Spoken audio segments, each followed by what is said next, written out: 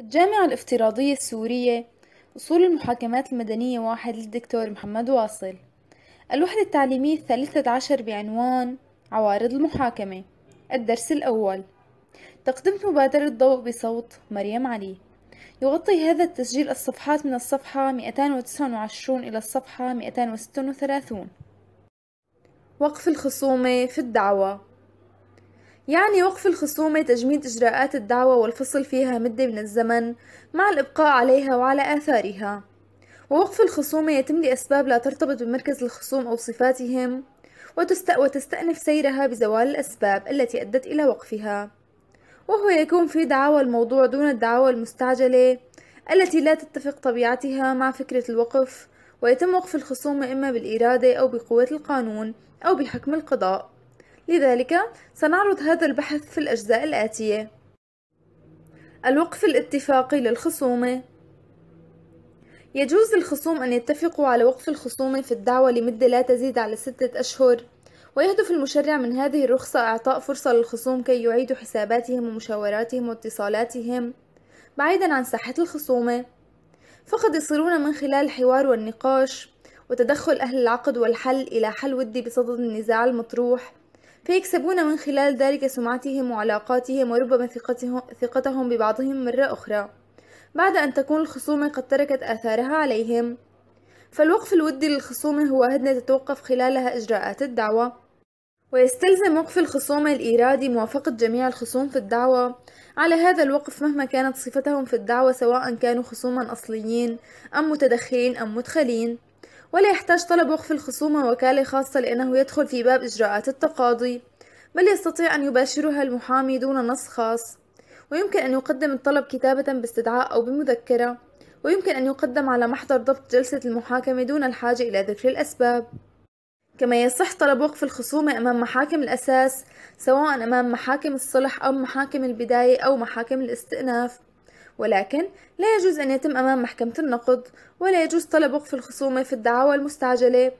وأن الاتفاق على وقف الخصومة يخضع للقواعد العامة في صحة الالتزامات أو العقود من حيث الأركان وشروط الصحة. وعلى المحكمة التثبت من قيامها فإن وجدت خللا أو عيبا قررت رد طلب الوقف والسير في الإجراءات أصولا. كما اشترط المشرع ألا تزيد مدة الوقف الاتفاقي على ستة أشهر حيث تستأنف بعدها الخصومة إجراءاتها بقوة القانون. ويبلغ الخصوم إلى جلسة علنية لذلك ولكن يصح أن تكون مدة الوقف أقل من تلك المدة. وفي هذه الحالة وبعد استئناف الخصوم من الوقف لا يمنع من إعادة طلب وقفها مرة أو مرات أخرى. والشرط الوحيد هو أن لا تزيد المدة الإجمالية عن ستة أشهر حتى لا يطيل أمد التقاضي وتتراكم الدعاوى أمام المحاكم. وعلى ذلك فإذا اتفق الخصوم على وقف إجراءات الخصومة فإنه يتعين على المحكمة أن تقر هذا الوقف. وإن المحكمة لا تملك الحق في رفض هذا الطلب وإذا كان الوقف يحتاج إلى قرارها بذلك. وهذا أمر طبيعي ويستند إلى مبدأ حرية التقاضي ولكن هذه الحرية تكون قائمة قبل رفع الدعوى أما بعد رفعها فإنها تبقى بتصرف الخصوم وإدارة المحكمة. وأن أي تعليق يحتاج إلى موافقة الجهات المذكورة أي الخصوم والمحكمة كي تقر أو تقرر هذا الوقف لأنهم لا يستطيعون ترك الخصومة دون إجراءات لأن من واجب المحكمة أن تفصل في المعروض عليها من خلال الدعوة. مع الإشارة إلى أن قرار المحكمة بوقف الخصومة لا يتمتع بأي حجية بمواجهة الخصم الآخر الذي يكون له في أي وقت أن يطلب من المحكمة إعادة السير في إجراءات الخصومة وتبليغ الخصم الآخر بذلك دون أن يكون للطرف, للطرف الآخر حق الاعتراض. وتبدأ مهلة وقف الخصومة من تاريخ إقرارها في ضبط جلسات المحاكمة أو وفقا للوقت المحدد بدءه من قبل الخصوم أو في قرار المحكمة. ولكن لا يبدأ من اليوم التالي قياسا على مواعيد التبليغ والمهل التي تبدأ من اليوم التالي ولكن الوقت ينتهي في اليوم الأخير المكمل للمدة حيث يجب بعدها استئناف إجراءات الخصومة بقوة القانون من النقطة التي وصلت إليها. ووقف الخصومة من عوارض المحاكمة التي تمنع من السير في الدعوة. وعند انتهاء المدة المحددة لوقفها على المحكمة دعوة الطرفين إلى جلسة تحددها, تحددها للمحاكمة ولا يحق للمحكمة شطب الدعوة قبل التبليغ بالموعد الجديد دون الحاجة إلى مراجعة من أي منهما. وإذا تخلفا بعد ذلك تشطب الدعوة. الوقف القانوني للخصومة. توقف الخصومة بقوة القانون في الحالات التي نص فيها على هذا الوقف. حيث توجد أسباب معينة وجد المشرع أنه من العدل أن تتوقف جميع إجراءات الخصومة ورفع يد المحكمة عن اتخاذ أي إجراء خلال مدة الوقف. وعد كل إجراء يتم خلال الوقف باطلا ولا يرتب أي أثر. والوقف القانوني للخصومة لا يحتاج إلى حكم أو موافقة المحكمة أو الخصوم بل يترتب بمجرد قيام سبب من الأسباب التي نص القانون على أنها تؤدي إلى وقف الخصومة. وإذا صدر حكم بالوقف فهو معلن للحالة وليس منشئا لها. ومن أمثلة الوقف القانوني للخصومة ما نص قانون أصول المحاكمات عليه في المادة واحد على 189 أصول محاكمات والمتعلقة بإقامة دعوى الرد بحق القاضي الذي الذي ينظر في الدعوى حيث رتب على تقديم طلب الرد وقف الدعوى الأصلية إلى أن يحكم في دعوى الرد بقرار نهائي. فالوقف في هذه الحالة يتم بمجرد قيد دعوى الرد في ديوان المحكمة المختصة دون الحاجة إلى حكم. وهذا الوقف مقرر لاعتبارات تتعلق بالعدالة من أجل طمأنينة المتقاضيين إلى حياد القاضي وتجرده وعدم اتخاذ دعوى الرد سببا للتشفي أو الانتقام من طالب الرد. وفي حال إقامة دعوى بين مؤسستين حكوميتين يتعين على المحكمة وقف الخصومة إلى حين أخذ رأي الجمعية في مجلس الدولة بذلك. الوقف القضائي للخصومة أجاز المشرع للمحكمة في غير حالتي الوقف الاتفاقي والوقف القانوني للخصومة أن تقرر وقف الخصومة كلما رأت أن حكمها في موضوعها يتوقف على الفصل في مسألة أخرى. فوقف الخصومة القضائي يتحقق في إحدى, في إحدى الحالتين. إما أن يثير الخصم مسألة يخرج الفصل فيها عن اختصاص المحكمة وإما أن يطرأ طارئ على الدعوة يقضي بإيقاف السير فيها حتى الفصل في الطارئ. وفي كلتا الحالتين لا يجوز للمحكمة إيقاف الدعوة إلا إذا كان الفصل في المسألة الأخرى ضروريا للفصل في الدعوة الموقوفة. لذا يسمى هذا الوقف بالوقف التعليقي أي تعليق الفصل في موضوع الدعوة على الفصل في مسألة أولية لا تدخل في اختصاص المحكمة. وعادة ما يصدر الحكم في هذه الحالة بوقف الخصومة في الدعوة باعتبارها مستأخرة إلى أن يبت في المسألة التي علق عليها الوقف. إن طلب وقف الخصومة في الدعوة لحين الفصل في مسألة أخرى ضرورية. للفصل في الدعوة الموقوفة لا يعد طلبا جديدا لأن الطلب الجديد الذي لا يجوز قبوله لأول مرة أمام محكمة الدرجة الثانية هو الذي يكون من شأنه إدخال تغيير على موضوع الدعوة أو يهدف إلى تغيير في صفة الخصوم وهو غير متوفر في طلب وقف الخصومة في الدعوة لحين الفصل في الدعوة. وبالتالي يمكن أن يتم الوقف القضائي أمام محاكم الدرجة الأولى أو الدرجة الثانية على حد سواء. لذلك سنعرض شروط الوقف القضائي للخصومة وبعض حالات الوقف التعليقي وفق الآتي. أولا شروط الوقف القضائي. يقضي المبدأ القانوني وفقا لما تم التنويه إليه أعلاه أنه لا محل لوقف الدعوة إلا إذا كان الفصل بالمسألة التي ترى المحكمة تعليق حكمها عليها ضروريا. لذا يجب قيام مجموعة من الشروط كي تمارس المحكمة سلطتها في وقف الخصومة في الدعوة باعتبار الدعوة مستأخرة إلى حين الفصل في مسألة أولية وهذه الشروط هي واحد أن تثار مسألة أولية في الدعوة. تعد المسألة أولية في الدعوة إذا كان يتوقف على حلها الفصل في موضوع الدعوة كمسألة ثبوت الملكية في دعوى إزالة الشيوع وثبوت النسب في دعوى النفقة. وثبوت ارتكاب الجاني للجرم من أجل الحكم بالتعويض. ففي هذه الحالات لا تستطيع المحكمة أن تفصل سلبا أو إيجابا في موضوع الدعوى المرفوعة إليها قبل ثبوت المسألة الأخرى. وفي الأحوال جميعها يتعين قيام ارتباط بين موضوع الدعوى المنظورة والمسألة التي تستدعي وقف الخصومة وإن تقدير قيام الارتباط من عدمه يعود للمحكمة التي تملك سلطة, التك... سلطة تكييف الوقائع. وتحديد الوصف القانوني الصحيح لتحديد ما إذا كان الفصل في الدعوى المنظورة من قبلها يحتاج إلى الفصل في مسألة أخرى أم لا. 2 أن تكون المسألة الأولية من اختصاص محكمة أخرى. يقضي المبدأ القانوني أن المحكمة ملزمة بالفصل بالدعوة ولا يجوز وقفها إلا في الأحوال التي نص عليها القانون.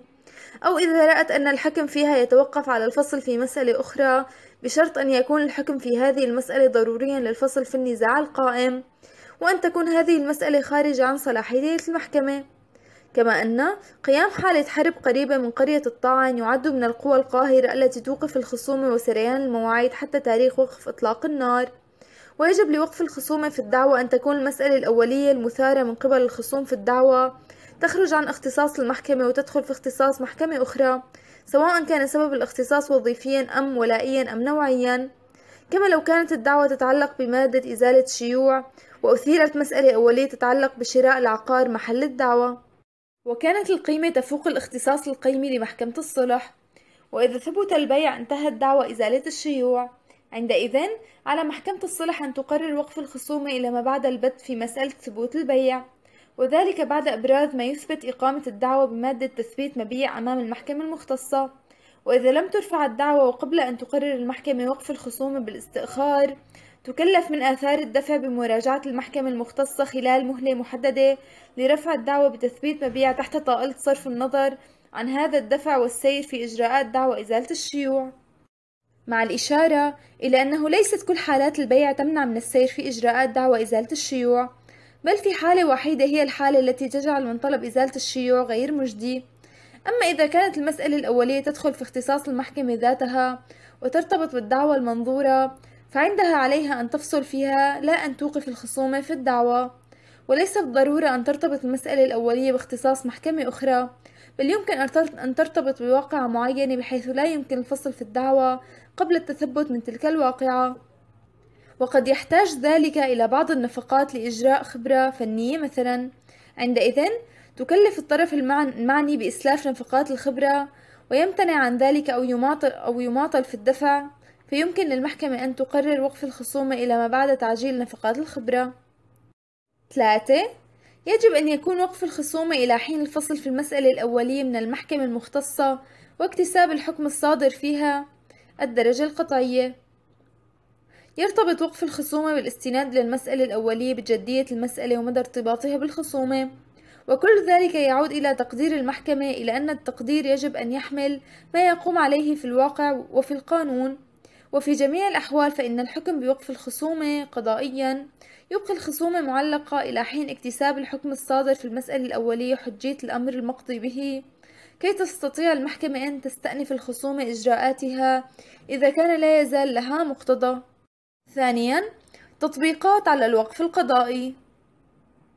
يستند الوقف القضائي للخصومة على مجموعة من الأسباب فمنها ما يرتبط بوجود دعوة جزائية لأن الجزائي يعرقل المدني أو يوقفه إلى حين البت في الدعوة الجزائية حيث نصت المادة واحد على خمسة من قانون أصول المحاكمات الجزائية على أنه يجوز إقامة دعوى الحق الشخصي تبعا لدعوى الحق العام أمام المرجع القضائي المقام لديه هذه الدعوة كما تجوز إقامتها على حدة لدى القضاء المدني. وفي هذه الحالة يتوقف النظر فيها إلى أن تفصل دعوى الحق العام بحكم مبرم. إذ تترتب مسؤوليتان على الفعل الضار مدنية وجزائية. ويمكن للمتضرر أن يرفع دعوى المسؤولية المدنية أمام المحكمة المدنية ودعوى المسؤولية الجزائية أمام المحكمة الجزائية إلا أنه يتعين على المحكمة المدنية في هذه الحالة أن توقف الخصومة في الدعوى المرفوعة أمامها إلى أن يتم الفصل في الدعوى الجزائية بحكم قطعي لا يقبل أي طريق من طرق الطعن العادية إلا أن سلوك الطريق المدني يمنع من إعادة سلوك الطريق الجزائي. فلو دفع بالفائدة الفاحشة لم يعد بإمكان صاحب الدفع رفع الدعوى الجزائية بذلك من أجل وقف الخصومة في الدعوى المدنية. أما الطرق غير العادية فلا تمنع, فلا تمنع من السير في إجراءات الدعوى المدنية. والوقف في هذه الحالة وجوبي ولا يملك القاضي المدني سلطة تقديرية في عدم الوقف لأن المحكمة المدنية ملزمة بالحكم الجزائي لجهة وقوع الجريمة بوصفها القانوني ونسبتها للفاعل. لذلك فإن الجزائي يعقل المدني بغض النظر عن الجهة القضائية التي تنظر في الدعوى الجزائية حيث يمكن أن يكون قضاء عاديا أو قضاء عسكريا أو قضاء استثنائيا أو محكمة أمن الدولة. وبغض النظر عن المحكمة المدنية التي يمكن أن تكون مدنية أو تجارية أو شرعية أو عمالية إلا أن الشيء الأساسي هو أن تكون الدعوة الجزائية مرفوعة فعلا. أما إذا لم تكن قد رفعت فإن المحكمة المدنية تستمر برؤية دعوى المسؤولية المدنية بغض النظر عما إذا كان الفعل يشكل جرما جزائيا أم لا. إلا أنه إذا رفعت الدعوة الجزائية بعد رفع الدعوة المدنية فعندئذ يعود الحكم بضرورة وقف الدعوة المدنية. إلا أنه يشترط من أجل وقف الدعوة المدنية أن يكون السبب في الدعويين الجزائية والمدنية واحدا. أي أن الفعل المنشئ للالتزام واحد. أما إذا لم يقم هذا الترابط فلا محل لوقف الدعوة المدنية لأن علة الوقف تتعلق بالعدالة التي تحول دون صدور أحكام متناقضة. لذا يتعين في حالات وقف الخصومة جميعها أو تعليقها بسبب الاستئخار للفصل في مسألة أولية. أن يصدر حكم قضائي بذلك وأن الحكم الصادر بالوقف أو بالتعليق يقبل الاستئناف لأنه فصل في مسألة فرعية ترتب عليه نشوء مراكز قانونية جديدة. لأن المحكمة نظرت في الخصومة وفحصت الوقائع فيها وتوصلت إلى عدم صلاحية الدعوة للفصل في موضوعها وأن الحكم الاستئنافي إما أن يؤيد حكم محكمة الدرجة الأولى أو يلغيه. وفي حال الإلغاء يتعين على محكمة الاستئناف أن تعيد الدعوة إلى محكمة الدرجة الأولى للسير فيها من النقطة التي وصلت إليها. لا أن تفصل في الموضوع لأن محكمة الدرجة الأولى لم تقل كلمتها بعد وبالتالي لم, لم تستنفذ ولايتها. وأن تصدي محكمة الاستئناف للفصل في الموضوع يحرم الخصوم درجة من درجات التقاضي. أما قرار رد طلب وقف الدعوة لا يقبل الطعن إلا مع الحكم النهائي. وأن استمرار وقف الخصومة الذي قررته محكمة الاستئناف دون أن يكون لأطراف الدعوة يدا فيه لمدة ستة أشهر لا يستتبع شطب استدعاء الاستئناف لأن المحكمة هي التي تقرر وقف الخصومة ولا شأن للأطراف في ذلك. أما حالات الوقف القضائي سواء بسبب الاختصاص أم لغيره فهي كثيرة ولا يمكن وضع لائحة حصرية لها وهي تختلف وتتنوع بحسب المواضيع المطروحة في ساحة القضاء. ونذكر منها بعض التطبيقات القضائية على سبيل المثال للحصر. الآتي واحد اعتبار دعوى تثبيت الزواج مستأخرة ريثما تبت محكمة الأحوال المدنية بتصحيح القيد المدني للزوجة لخروج ذلك عن اختصاص القاضي الشرعي. 2 يتوجب توقيف الخصومة في دعوى إنهاء عقد الرهن إذا أقام شاغل العقار دعوى تثبيت العلاقة الإيجارية أمام المراجع المختصة باعتبار أن الدعوة الإيجارية تحدد العلاقة القائمة ما بين الطرفين ولوجود ارتباط بين الدعويين لأن كل منهما تتعلق بحق الانتفاع 3. الطعن أمام المحكمة المختصة بوثيقة حصر الإرث الشرعي بطلب بطلانها يوجب استئخار النظر في دعوى فسخ تسجيل عقارات مبنية على الوثيقة محل الطعن أمام المحكمة المختصة. أربعة الدعوة المقامة أمام المحكمة الشرعية بالطعن بوثيقة إرث شرعية. توجب وقف الخصومة في الدعوة المقامة بطلب إبطال معاملة انتقال. بالإسناد إلى معاملة حصر الإرث الشرعي موضوع الطعن أمام المحكمة الشرعية لأنه على ضوء الطعن سيتقرر الورث الشرعيين.